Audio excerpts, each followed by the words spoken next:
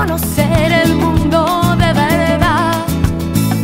Aún no es tarde, pero así me estoy sintiendo.